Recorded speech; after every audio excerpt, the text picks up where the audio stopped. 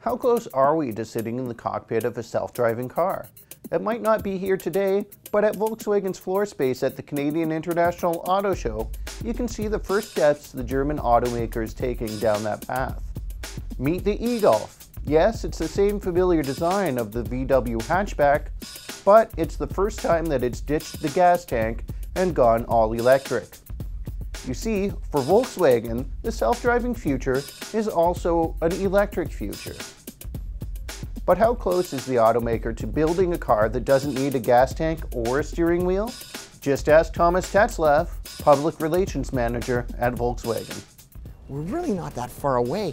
In 2020, we're going to be introducing a new line of cars called the ID line, and they're based on a scalable all-electric platform.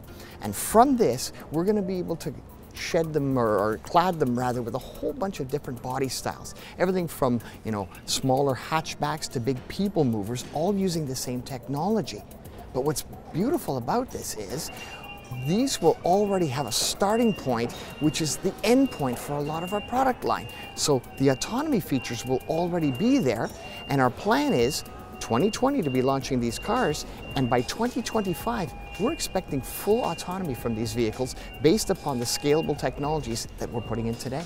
Volkswagen is reading the tea leaves, and it knows the next generation won't have the same relationship with their car that their grandparents did. Instead of owning a car, you'll get one on demand. Instead of a prized possession, it's a mobility solution. Even if that relationship is changing, Volkswagen still wants to provide the car. To do it, the automaker is undergoing its own digital transformation. As self-driving technology advances, automakers find themselves in a race to develop autonomy. You might call it the most transformation that the auto industry has ever seen. For Volkswagen, it says that it's never seen so much rapid change. At the end of 2016, it launched MOIA, a new standalone mobility services company based in Berlin. The stated mission is to explore new mobility solutions and partner with cities in existing transport systems. It's seeking to work with startup talent and is likely to make some acquisitions. For example, it bought a stake in the ride-hailing app Gett, operating in more than 100 cities worldwide. By 2025, not only does VW plan to have a self-driving car, it plans to generate a substantial amount of its revenues from new business. Also helping it down that road is Volkswagen's Electronics Research Laboratory in Silicon Valley. There, engineers are working on cutting-edge fields like human-computer interaction and improved battery technology because better batteries mean better electric cars.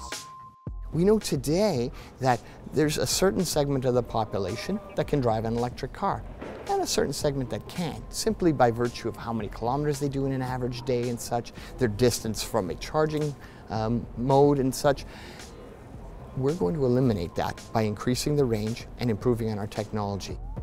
For VW, transformation isn't just about becoming autonomous, it's about becoming sustainable at the same time.